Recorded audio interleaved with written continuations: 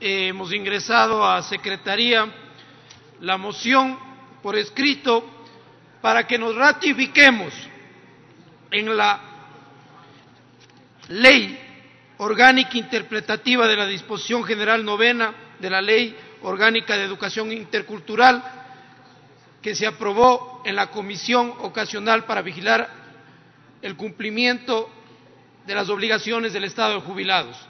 Por favor, Presidenta, que se tome en cuenta esta moción y se vote inmediatamente. Gracias, Presidenta.